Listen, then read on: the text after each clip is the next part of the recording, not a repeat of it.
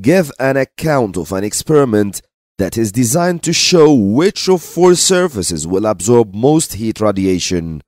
The four surfaces are all the same metal, but one is a polished black surface, one is a polished silver surface, one is a dull black surface, and the fourth one is painted white. Give your answer under the headings below. A. Label diagram of the apparatus. B. Readings to be taken.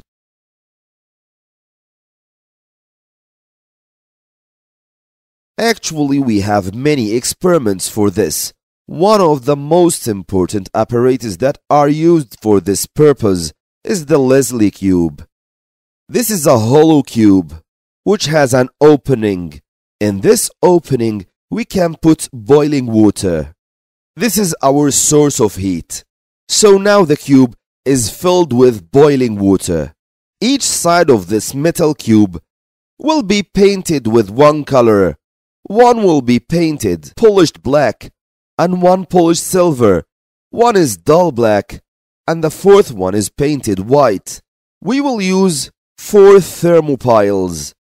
The thermopile is an infrared detector or you can say a heat radiation detector. Each thermopile will face one side of the Leslie cube. By taking the reading of the temperature on each thermopile, we can know which surface is the better absorber of heat. And of course it will be the dull black. The dull black will absorb heat from the boiling water and emits it outside the box. So the thermopile that is facing the dull black surface will give the higher reading of temperature. The readings to be taken are the temperature reading by each thermopile and this must be in the same time.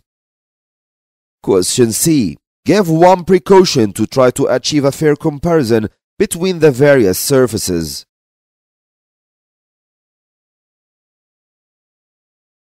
For fair comparison, each thermopile must be at the same distance from the surface it is facing.